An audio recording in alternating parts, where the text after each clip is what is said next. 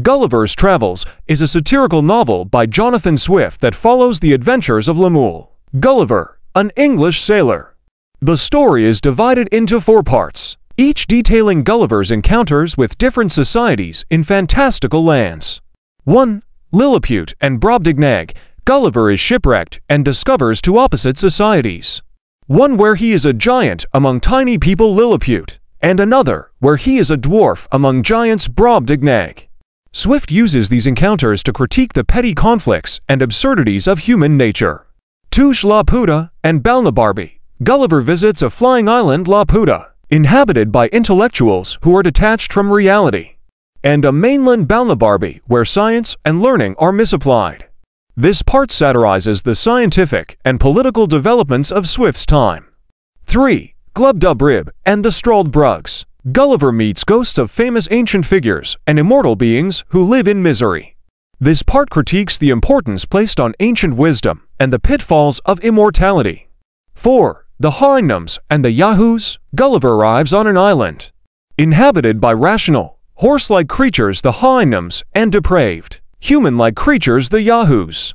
This part is a scathing critique of human behavior with the Houyhnhnms representing rationalism and the Yahoos symbolizing the worst aspects of humanity. Throughout the novel, Swift uses humor, satire, and allegory to expose the flaws and absurdities of human nature, political systems, and societal values. Gulliver's Travels by Jonathan Swift is a classic satirical novel that follows the adventures of Lemuel Gulliver, an English sailor as he encounters various fantastical lands and their inhabitants. The story is divided into four parts, with each part presenting a different society that serves as an allegory for the shortcomings of human nature, politics, and society. 1. Lilliput and Brobdingnag In the first part of the novel, Gulliver is shipwrecked and washed ashore on the island of Lilliput. He is discovered to be a giant among the tiny inhabitants who stand barely an inch tall. Gulliver becomes a celebrity and a prisoner, caught in the middle of the political struggles between Lilliput and its neighboring enemy, Blefuscu. He eventually escapes and is shipwrecked again, this time on the island of Brobdingnag, where he is a dwarf among giants.